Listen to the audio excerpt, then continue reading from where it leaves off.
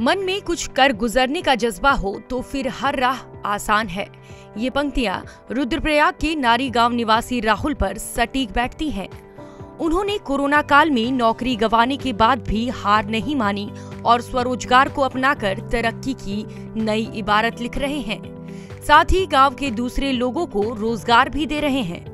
रुद्रप्रयाग के नारी गाँव निवासी राहुल मलवाल अपने ही घर में एलईडी बल्ब बनाकर गाँव के अन्य परिवारों को भी रोज़गार दे रहे हैं। उनके इस कार्य की क्षेत्र में चौतरफा सराहना भी हो रही है। वहीं राहुल मलवाल, पीएम मोदी के वोकल फॉर लोकल अभियान को भी आगे बढ़ा रहे हैं।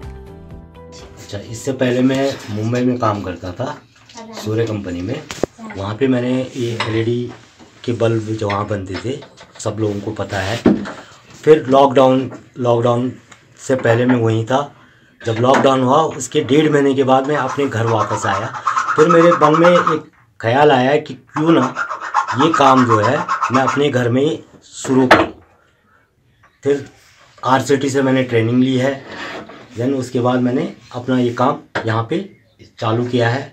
और मैंने गाँव की दो महिलाएँ और मेरी स्वयं की वाइफ मिला के तीन तीन महिलाएँ को मैंने यहाँ पे काम भी दे रखा है।